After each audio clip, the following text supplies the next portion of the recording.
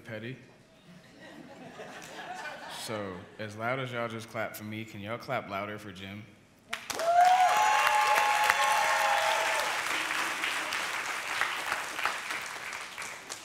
Jim is actually one of the first people I met when I uh, came to Grace Walk, and he is everything that our church embodies uh, servitude, uh, God's heart, friendly.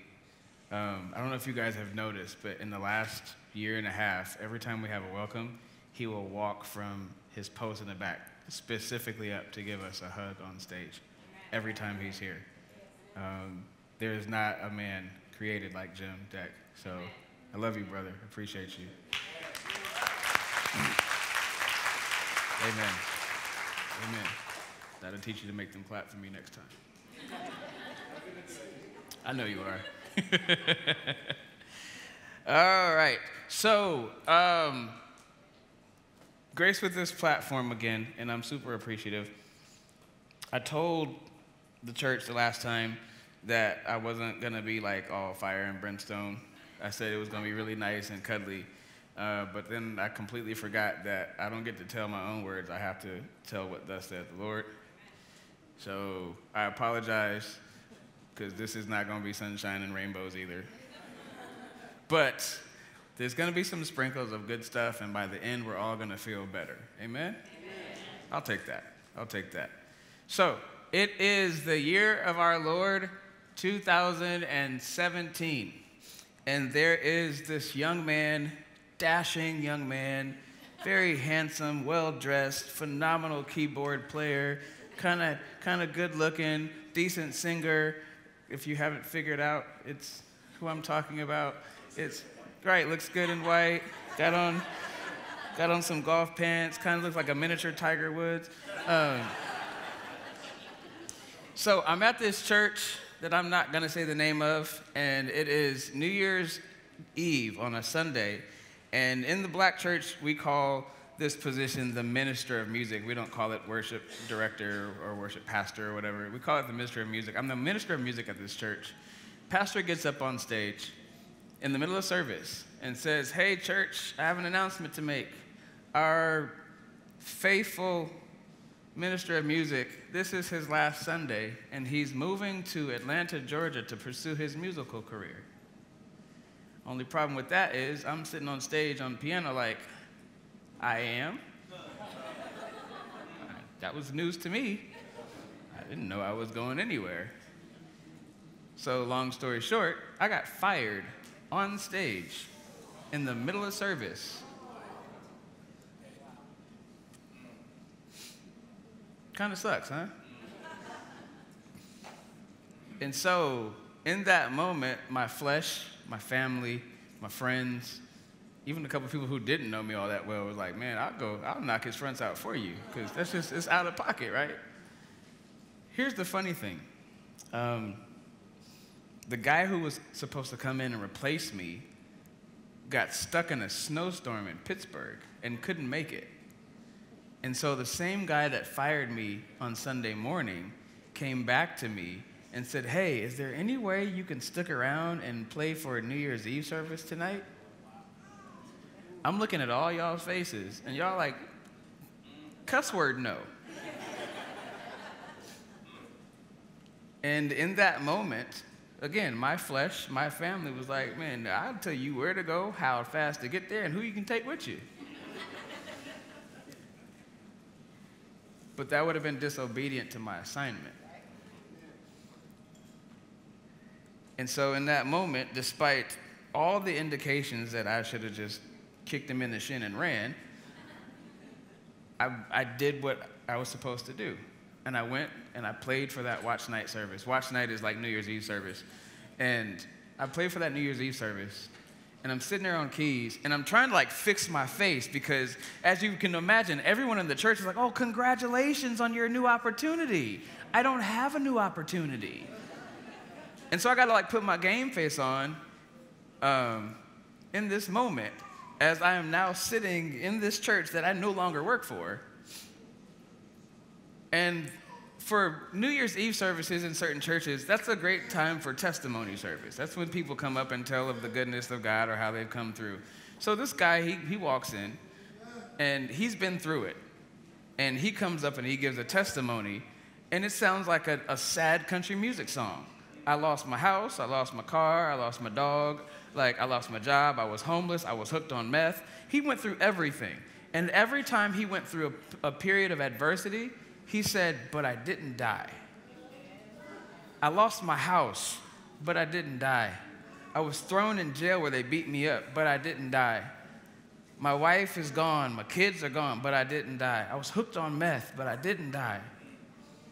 And I'm sitting here with my first world problems on, on piano, looking at this man who's literally lost everything, who is telling me about the joy of the Lord in the midst of a season that is exponentially worse than mine. And in that moment, I realized, God, you didn't have me here for them. You had me here because you needed me to see what He had for me. And then it hit me in that moment. Some seven years later, now is the time to tell of this ministry because the day I got fired, and trying to figure out what to do with my life because I'm, I'm a musician at heart. That's just who I am. That's who I was created to be. Two days later, literally two days later, CCV calls randomly out the blue and says, Hey, we've heard a lot about you. We would love if you would come and join us and be a part of our ministry and come play here. Random call out the blue, got hired on the spot, played there for five years, including one time where I had the unprecedented honor to sing one of the songs that I wrote on stage in front of a stream of over 60,000 people.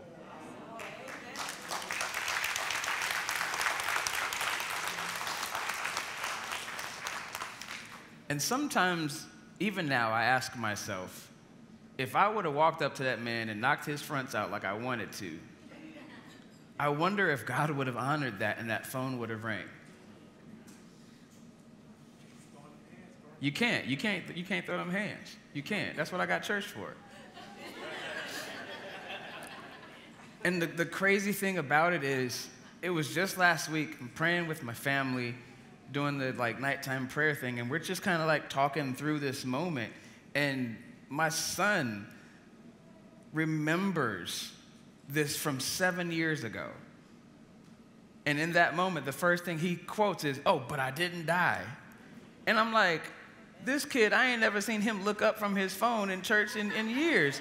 And I realized it resonated with him some seven years later.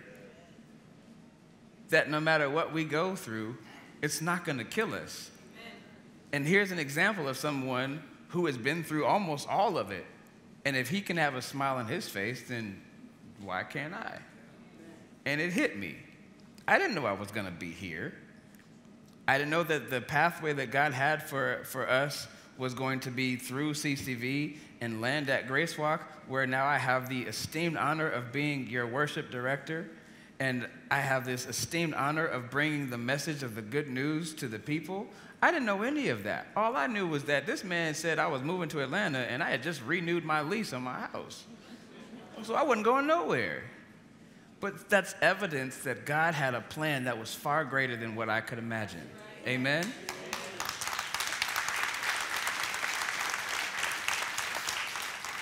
What's crazy is I feel like I could stop right there and just open the doors to the church and we can go home. But I'm not. Touch your neighbor and say, The storm provides. Yes, yes. The storm provides. There is provision in the storm. Please turn your Bibles, your phones, your iPads, your Samsung tablets, whatever you have, please turn it to the book of James, the first chapter, the second verse. If you don't have anything, there's two screens up here you can look at. It says, My brethren, count it all joy for when ye fall into diverse temptation, knowing this, that the trying of your faith worketh patience but let patience have her perfect work, that ye may be perfect and entire, wanting nothing. Is there anybody in this church today that wants nothing? Thank you for being honest. Somebody last service raised his hand.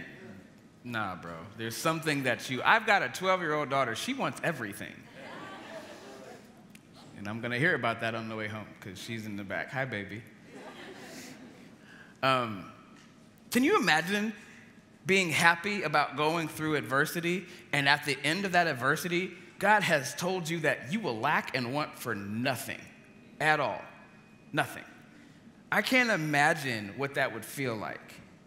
But then again, I also sometimes have a hard time imagining a God that loves me, knowing all of my deepest, darkest secrets, and He still loves me for who I am. Amen. Amen. Amen. Touch your neighbor and say, The storm provides. Yeah, yeah, yeah, yeah. The storm definitely provides. The storm also preludes. Big fancy word that means it proceeds, it goes forth. There's two ways to look at this when you say that the storm proceeds. The first way you can look at a preceding storm is that a storm will go before you and clear out your pathway and make your pathway visible so that you know which direction to go in. That's a beautiful thing about this storm. The book of Isaiah, 43rd chapter, in the 18th verse in the New Living Translation, it says, But forget all that it is nothing compared to what I'm going to do, for I am about to do something new. The King James Version says, Behold, I will do a new thing.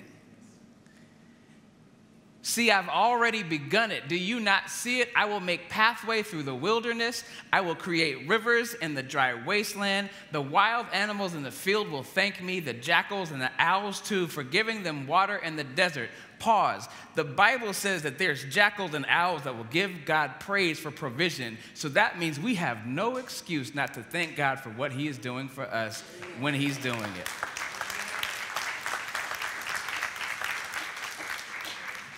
That was real cute, but I'm talking about our Lord and Savior who did everything that we needed him to do when he needed to do it. The Bible says, Yes, I will make rivers in the dry wasteland so my chosen people can be refreshed. The storm preludes. The other way that we can look at a preceding storm is it's a prelude to what's to come. The storm will reveal what is our pathway for God's glory in the future. The book of Romans, famous, famous scripture, the King James Version says, For I reckon that the sufferings of this present time are not to be worthy to be compared with the glory that shall be revealed in us. What is special about this scripture is God not only has said that our latter will be greater than our past, but He also has said that when we get there, we'll realize that we already had it embedded in us. I came here today to tell you, if you don't hear anything else, that whatever you need in God, it's already in your possession. God continues to tell us, we'll see in another scripture later, later on, that when He needs us to be strong, it's something that we already possess. There's a glory that's already in us that He's going to reveal to us at the appropriate time. And that should give us confidence in knowing that no matter what comes our way, we already have the tools to win. That's why church was singing about winners. That's why we believe that we're winning souls to Christ and making winners in life because we realize that the victory has already taken place. We fight from a position to preserve our victory, not to obtain it.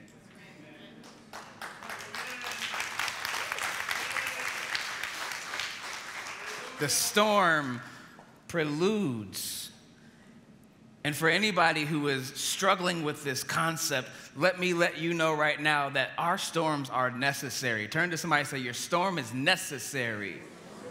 Yeah, yeah, yeah. You got to go through it. And if you don't think that you have to go through it, let me ponder this on you. Let me let me let me paint this picture for you real quick. So, it's no secret that humanity at certain times sucks.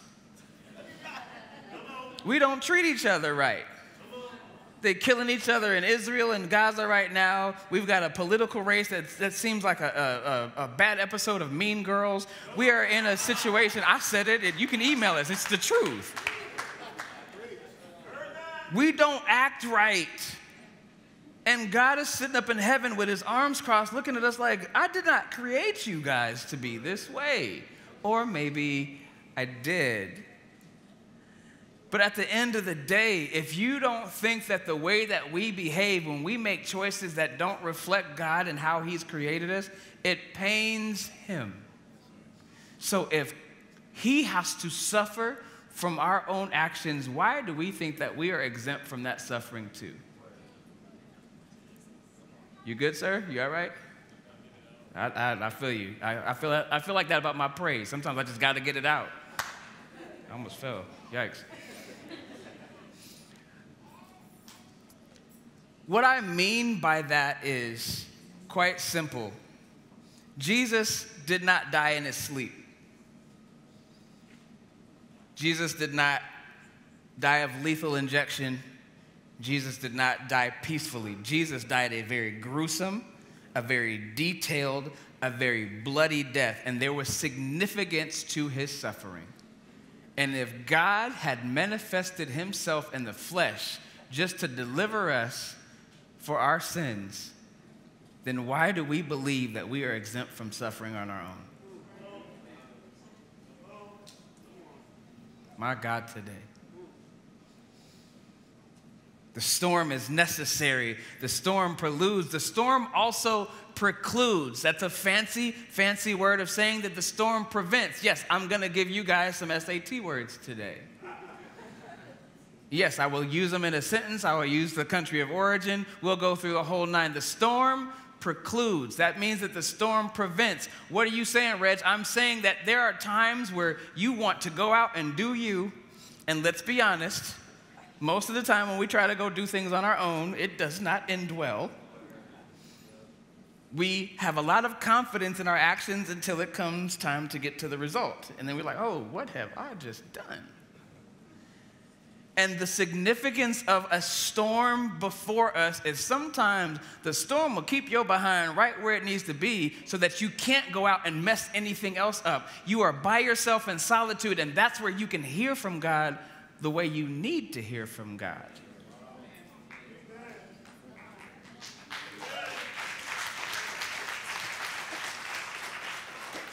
We're dealing with a, a storm right now. It, it, it's uh, Helena, Helena, uh, Helen, Helen, Helen. There's a hurricane that the whole southeast is dealing with.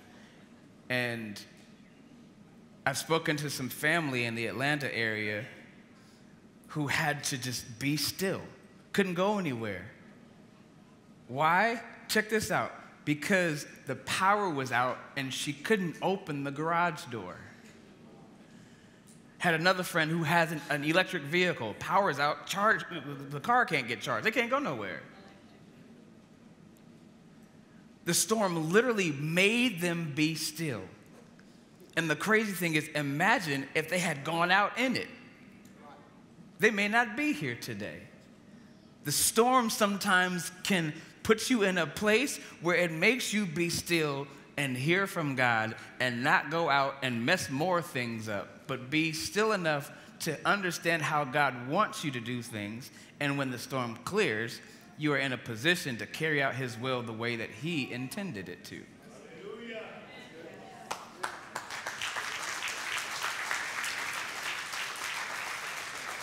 Deuteronomy 31 and 8, the New Living Translation says, Do not be afraid or discouraged, for the Lord will personally go ahead of you. He will be with you. He will neither fail you nor abandon you. The storm precludes, the storm prevents. The storm also procures. Another SAT word, procures. To procure means to obtain with care. What are you saying now, Reg? You're using all these big words. The storm is a perfect opportunity for you to evangelize, which is exactly why we're living this life. Because if you go out right now to Carrabba's, yeah, I feel it too. Hmm. That mama soup is real. Um, if you go out to Carrabba's right now and you find the family, the perfect family with the nice house and the good job and the six figures and, and, and the pretty faces and not a care in the world, but they don't know God, and you say, hey, let me introduce you to Jesus, their response would be, for what? My life is fine. I don't need Jesus. Until it all falls apart. And it's going to fall apart. And I'm not saying that to be doom and gloom, but at the end of the day, we're all going to go through something. God made his own son die on our behalf. So you think that you're going to be free from an, an, assignment that's just not realistic. We're going to go through something. And when we do, that is the perfect opportunity to grab someone who is in the midst of that adversity and say, hey, I know a better way. I know a man named Jesus that can offer you peace that surpasses all understanding, that can offer you joy in the midst of your adversity. Let me introduce you to the best decision that you will make in your life. And it only happens in the midst of that storm. How many times have you, have you seen people come to Christ when every day was a sunny day? To this day, to this day, the Sunday after 9 11 remains the most attended church service Sunday in American history because we saw an unprecedented attack on our soil. We were scared to death, and everyone was like, okay, God, that I've never acknowledged before, I think I need you right now. The storm is an opportunity for us to grab those who would otherwise not see Jesus and allow them to see hope in a hopeless situation. The storm procures. The book of James, the fifth chapter, in the ESV version, it says, You can be sure that whoever brings the sinner back from wandering will save that person from death and bring about the forgiveness of many sins. When you grab somebody out of darkness and pull them into the light, you're not just saving them, you're saving yourself. And that's what we do. That's what we do. I jokingly said last, last service that, especially out here in Arizona, you, sometimes you'll see these streets and there's a sign that says, Do not cross when flooded. Y'all laughing because you realize that they only put that sign up because some nut job crossed when it was flooded. And you have to realize also that in order to put that sign up, that means that somebody cared enough to stop the next nut job from doing the same thing that the last nut job did. Because I'm petty. I would sit back and just watch as many people as possible just go through and like, how many times you gonna see somebody float away before you realize maybe this isn't a good idea? But that's the thing the storm precludes. The storm is the way that we can turn to someone and say, I've been through what you're going through, and you may not want to keep going down that route. Let me give you another option that's going to be such a better way. I don't know about you, but I wish that I would have listened to some of the people who gave me advice when I was younger because now I sound just like them when I'm in my 40s. And all them times when my mom was like, do this, I'm like, you stinky lady. I'm saying it verbatim. I'm talking to my kids the same exact way. My mom looking at me like, I told you. The storm procures. My God, today. The storm also protects. The storm protects because sometimes we don't understand the difference between when things are on purpose and things are for purpose.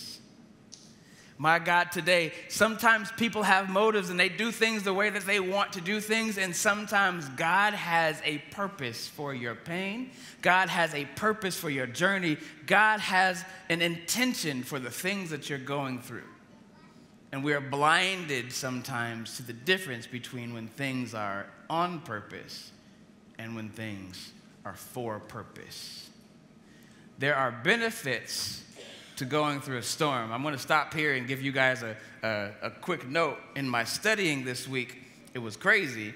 I was going through this and I was Googling and I was going through the Bible app and I was just taking a bunch of different resources to put this message together. And every single time I would type in something in a search engine, the result always came back as protection from the storm and not for the storm.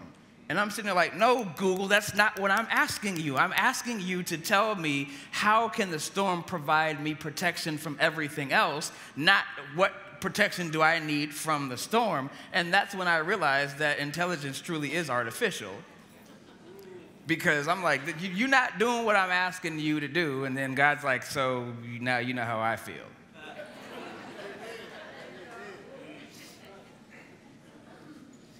But finally, through some very creative searching, I realized that there are tremendous benefits to a storm. There's environmental benefits, there's health benefits to a storm. The environmental benefits, especially out here, we live in the, in the desert because some, some genius decided 100 something years ago to stop here in the middle of 150 degrees and say, let's build a city. And here we are in this dust bowl, this desert, this dry and thirsty land, and the storm comes, we, we call them monsoons, and I read that when a storm comes, it restores the ionic balance in the atmosphere. That's pretty scientific. Let's break that down for two seconds. What that means is a storm can fix the things that are broken that you can't see. My God, today that sounds like my Savior who continues to fix things that are broken that I can't even see that are detrimental to me down the road.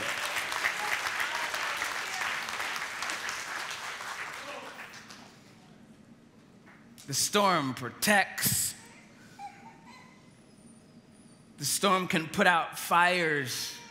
We have a fire season here in Arizona where every summer there's random fires that pop up all over the state. Some of them are even caused by the storm, and some of them are cured by the storm. The same lightning that creates this fire can be put out by the rain that comes with that same storm. That's prophetic. I ain't got time to get into that. We'll, we'll do that next time. But storms can end droughts.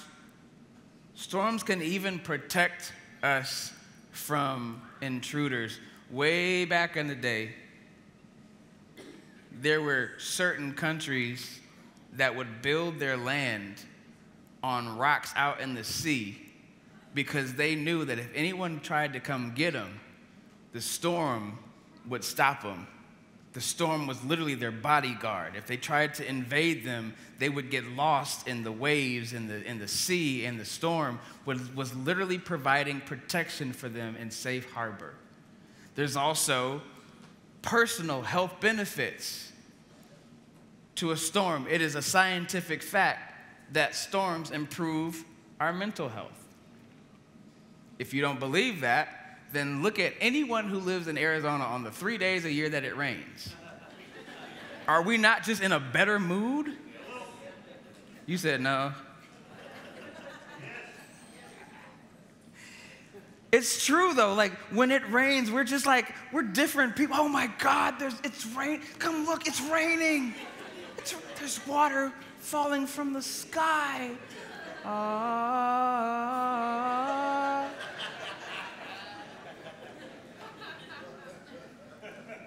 we're different people when it rains. We're in a better mood. Our mental health is better. Our pulmonary health is better. I don't know if I got any other pulmonary kids in here. Anybody else got their inhaler in their pocket? Is it just me?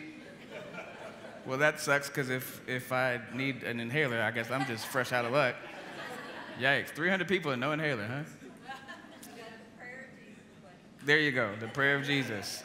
Just, we'll pray until you can go to Walgreens and get me an inhaler.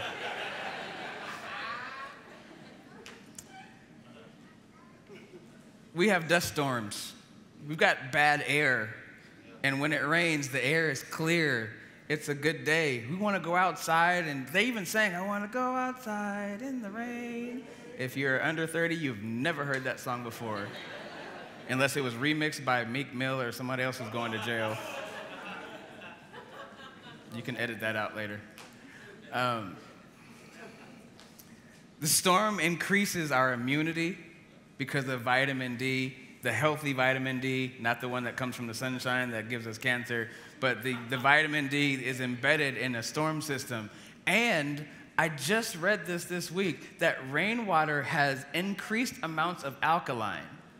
The same alkaline water that you guys spend five, six dollars a bottle at the gas station is in the rainwater. Legal disclaimer hey, online people, I did not say go out and drink rainwater because if you get sick, you cannot sue the church. And you can't sue me because I ain't got nothing.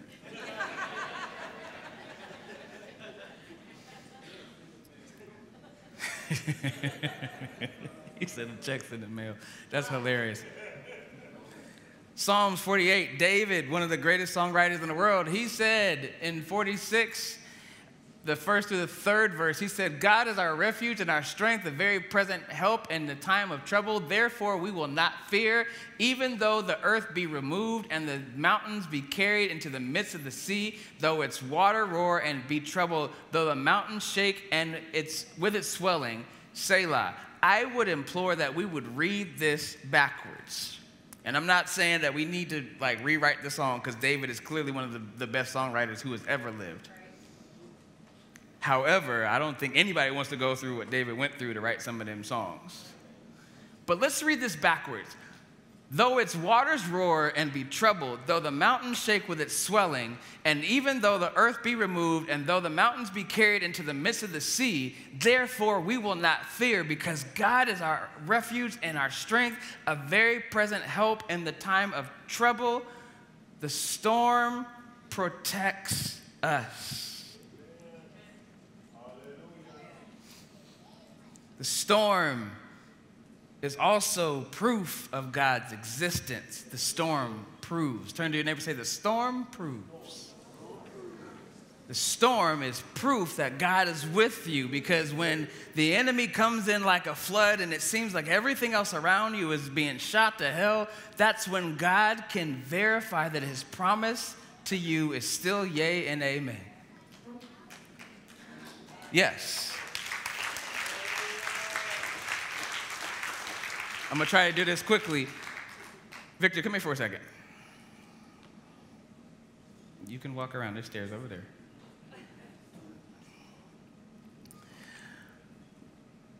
I don't know if I've ever formally introduced. This is my son, Victor.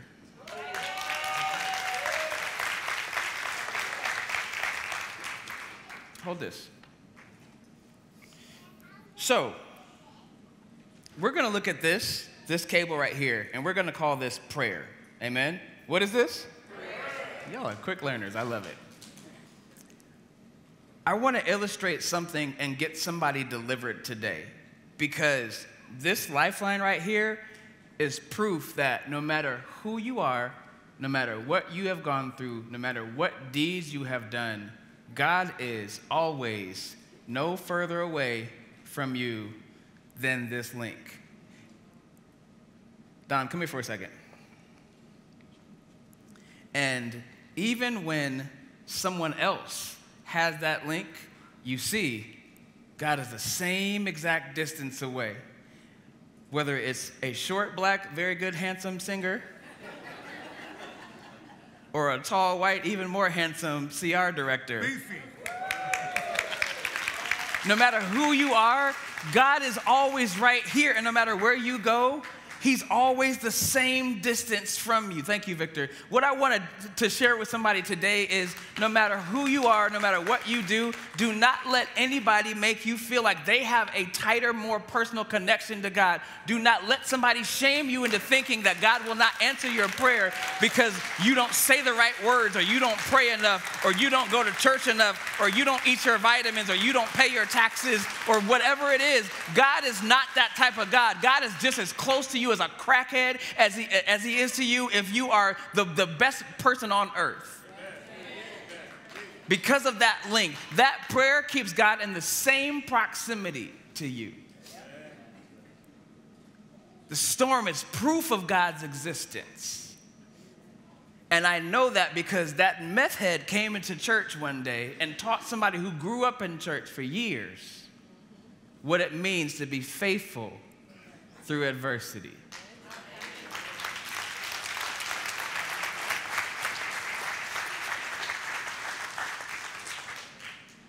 Matthew 8, the 18th chapter, the 27th verse says, Now when Jesus saw great multitudes about him, and he gave commandment to the, depart to the other side, and a certain scribe came unto him and said, Master, I will follow thee wherever you go.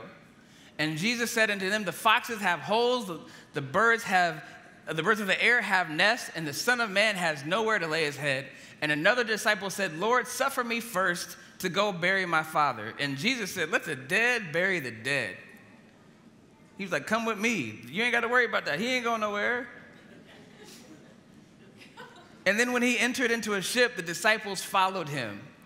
And I've got like an illustrative mind. And it said, Behold, there arose a great tempest into the sea. That's a fancy way of saying a storm. And insomuch the ship was covered with waves, but he was asleep. Pause. The, the, the scripture just said that the storm is getting really bad and the ship is going through it, and Jesus is knocked out.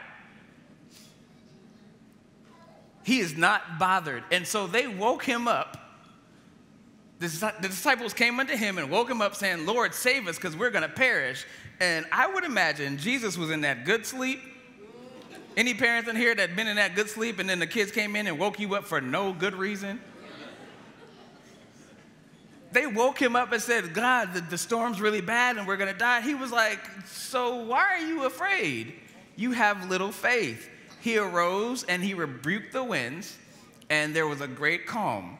And this is the part that doesn't make sense to me, not in the Bible, but by the people. The men said, Oh, wow, what manner of man is this that even the winds and the seas obey him? Isn't that why you woke him up in the first place?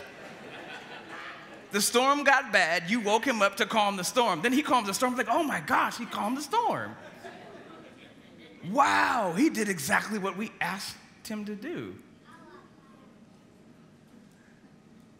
Reg, where are you going with this? I'm saying this. I'm saying that the storm will prove that the God that we pray to sometimes, and even though we declare how great He is, still have a little bit of doubt that He's going to do it this time. And He comes and He does exactly what we ask Him to do. And it's evidence of our faith. The Bible says, Now faith is the substance of things hoped for, the evidence of things not seen. The storm proves. I'm almost done. The storm also prepares because your increased faith is proof of God's promise. Very quickly, the book of Romans, the fifth chapter, the third verse, it says, More than that, we rejoice in our sufferings knowing that suffering produces endurance. How many people in here have ever prayed for patience? Bingo. So, for anybody who has not prayed for patience, I, I know you heard that like that grumbling, that kind of sarcastic laughter. That means that the people who have paid for praise, uh, uh, excuse me, prayed for patience have understood what that means. If you don't know what that means, then what that means is the second that you pray for patience, you finna go through hell. I mean, all kinds of hell. Because God will not gift wrap in a pretty package patience and say, here you go. He's going to make you go through it so that you can demonstrate that patience and that perseverance, which means the next time you pray, you pray for Twizzlers.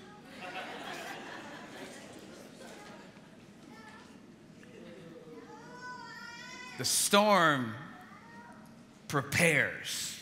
The storm gives us all that we need to know the confidence that the next time the storm comes, we will be ready because we got through it the last time. Any roller coaster fans in here? He said, Nope. Does anybody remember your first time on a roller coaster? And you, exactly, and you stood there and you looked up and you like, it goes all the way up to the heavens. It's so tall. And then you get on and you are praying to God, making all those promises. God, if you let me live through this, I promise I'll never eat another Snicker bar in my life. And in that moment, you are rethinking all of your life's decisions. and you're strapped in, and you realize at this point, the only way to get back to the station is you're gonna have to go through it. And here you are, strapped into some wheels on a rail, and you gotta go through whatever the roller coaster is. And again, you are rethinking your life choices, and then you get to the top of the hill, and you go through that roller coaster, and it's the best time of your life, and you get off it, and what do you say? Again! I wanna go again.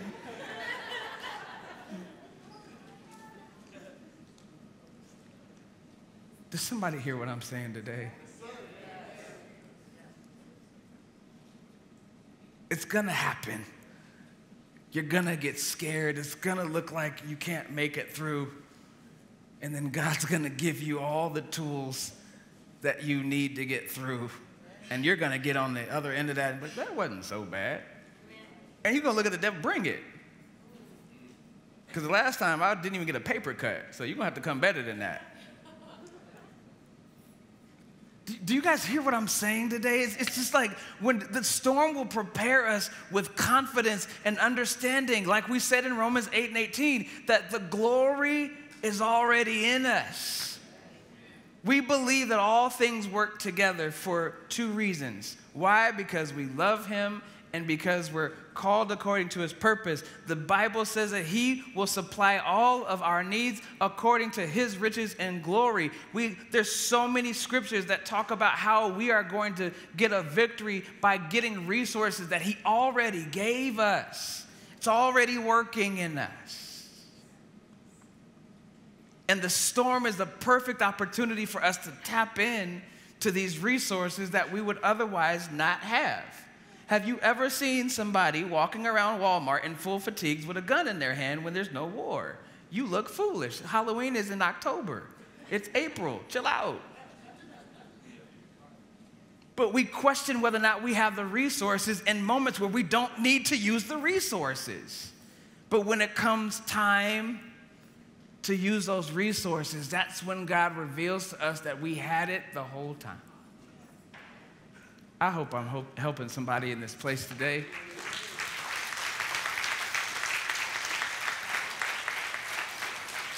I'll leave you with this. In the book of First Peter, the fourth chapter, it says, Beloved, I think it not strange concerning the fiery trial, which is to try you. It's what trials are for, they're to try you. As though some strange thing excuse me, as though some strange thing has happened to you. But rejoice in as much as ye are partakers of Christ's suffering, that when his glory shall be revealed, there it is again, shall be revealed, ye may be glad also with exceeding joy. And if ye be reproached with the name of Christ, happy are you. For the Spirit of glory and the God rests upon you. On their part is evil spoken of, but on your part he is glorified. I'm gonna pause right there. Sometimes when you're going through something, somebody will tell you just like Job, man, you crazy for having the faith that you got. They call you unrealistic. Anybody heard that before? You're not being realistic for trusting God this radical way. Like I understand that you have faith, whatever, but the realism is that this is this is just what's gonna happen. But the Bible I read just says on, on someone else's part, he's evil spoken of, but on, on your part, he's glorified because when the outcome that you had faith in comes to pass, you can look at everybody who doubted you and said, I knew it. I had unwavering faith. And it says, but let none of you suffer as a murderer or as a thief or as an evildoer or as a busybody or as a grace walk church member in other men's matters but yet, if any man suffer as a Christian, let him not be ashamed, but let him glorify God on this behalf.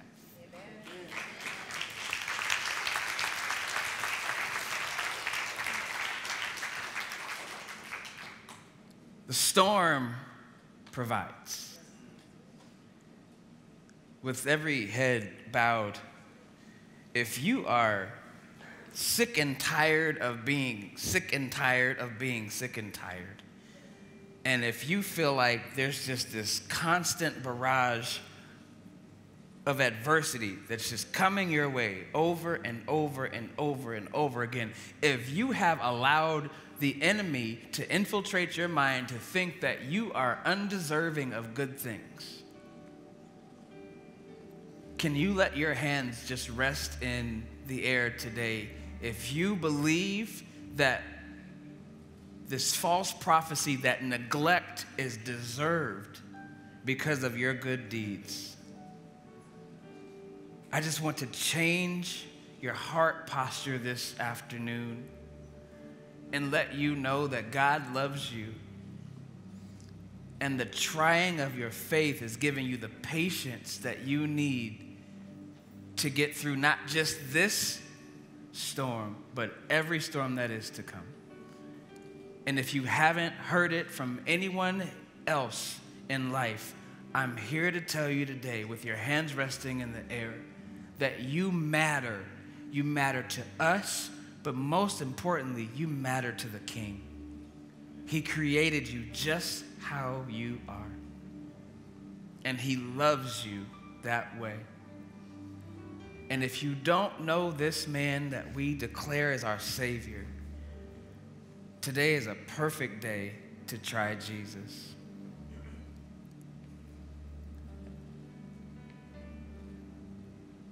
Repeat after me, saints uh, that don't know, and even the saints that do know God. Repeat after me Lord,